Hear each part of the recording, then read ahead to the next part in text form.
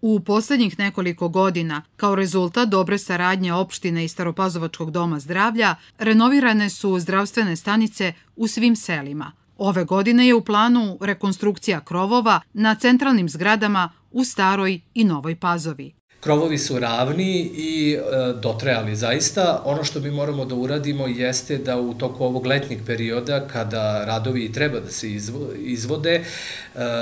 popravimo te krovove i da ta popravka bude svrsishodna, znači da traje onoliko dugo koliko je potrebno. Ja se nadam da, ćemo, da će nas i vreme poslužiti, što je jako bitno, jer kako su nam ljudi koji se bave tim poslovima rekli, potrebno je da bude nekoliko sušnih dana pre radova i nekoliko posle, što je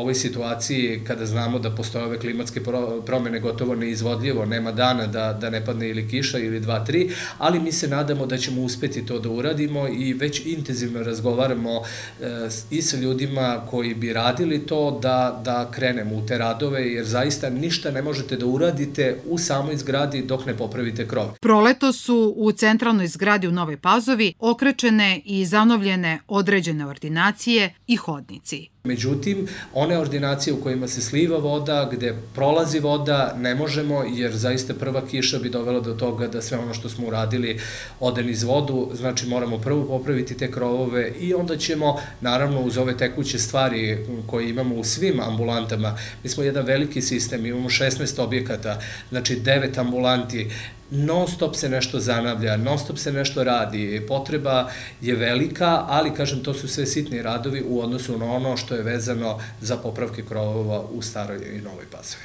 Rekonstrukcija krovova na zgradama u Staroj i Novoj Pazovi trebalo bi da bude obavljena tokom leta.